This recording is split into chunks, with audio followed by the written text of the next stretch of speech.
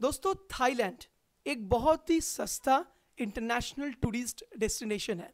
अगर आप थाईलैंड का टूर प्लान कर रहे हो और अगर आपका प्लान लिस्ट में फुकेट भी है फुकेट भी है फुकेट एक बहुत ही फ़ेमस टूरिस्ट डेस्टिनेशन है। इट इज़ अ आईलैंड का शहर बोला जाता है।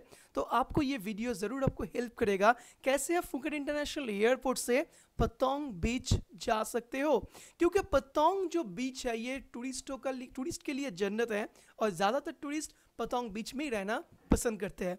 तो अगर आप पतोंग बीच में जाना चाहते हो, सो आपको पहला इन्फॉर्मेशन मैं देना चाहता हूँ, ये जो मेन एयरपोर्ट है, जो जिसको फुकेट इंटरनेशनल एयरपोर्ट बोला जाता है, उससे लगभग 60 से 65 किलोमीटर दूर है। So it is too far from the airport और लगभग एक से डेढ़ घंटे का जर्नी होता है एयरपोर्ट से वहाँ जाने के लिए।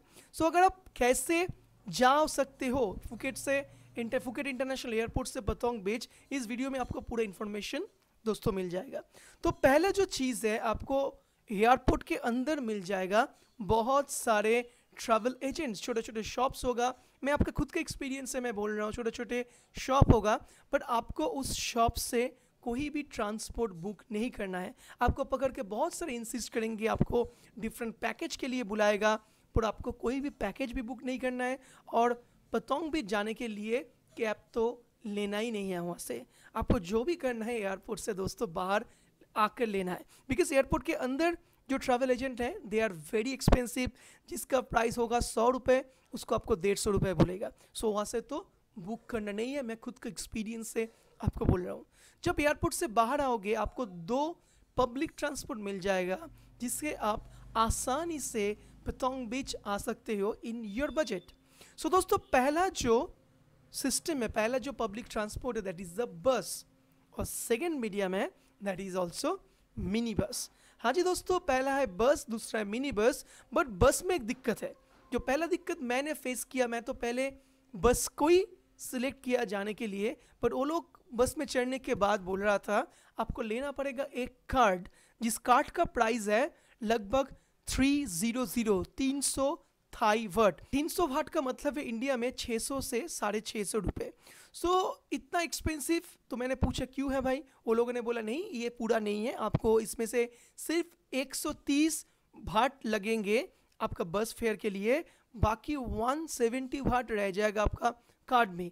जिस 170 भाट को आप इस्तेमाल कर सकते हो इसलिए अगर आप पतोंग बीच में जाकर कोई शॉपिंग करो, कुछ भी करो, इस कार्ड से आप कर सकते हो।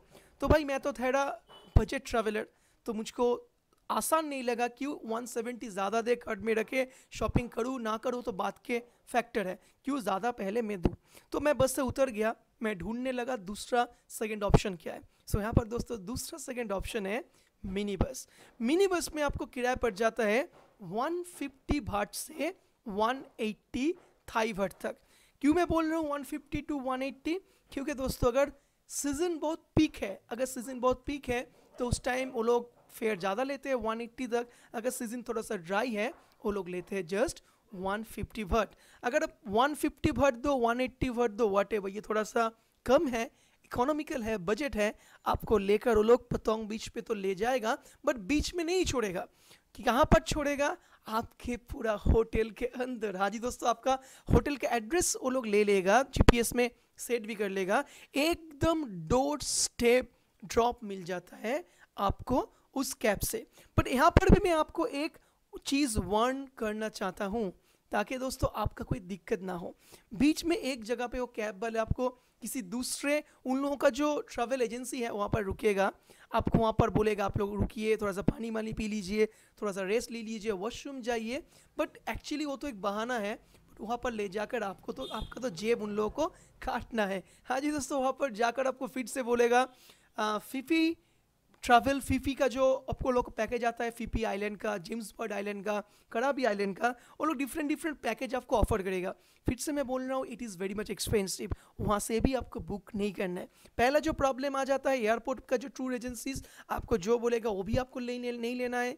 रस्ते में जो कैब वाले आपको किसी एजेंसी के पास ले जाएगा वहाँ पर भी आपको नहीं लेना है। यकीन मानिए जब आप पूरा आ जाओगे पतोंग बीच पतोंग बीच में आकर जो फ़ेमस जो रोड है, जिसको बोला जाता है बांग्ला रोड बांग्ला रोड में आकर आपको ऐसे बहुत बहुत ट्रैवल एजेंसीज मिल जाएँगे।